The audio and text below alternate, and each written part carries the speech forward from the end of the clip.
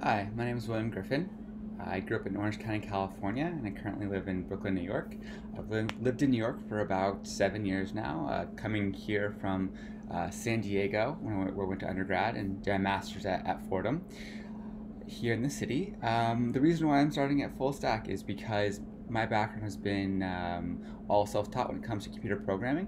And so I believe that Full Stack will provide the necessary tools to give me that professional background and techniques and best practices that I currently lack. I'm excited about utilizing these tools um, in a fintech firm that my partners and I have recently started. Uh, this is something I'm excited to really begin and, and finish out once uh, once I finish this program and, and learn the tools that will provide the the access to um, kind of the next level of, of computer development and computer programming. Um, one of the interesting facts about myself is that uh, I'm the youngest of five, um, and I have 12 decent nephews. Thanks.